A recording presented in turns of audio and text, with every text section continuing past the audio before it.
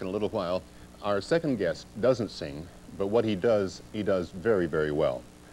Joe LoDuca plays guitar, and to facilitate these talents, he writes his own material, and the one he's going to play first is a little easy swinger called Home Stretch.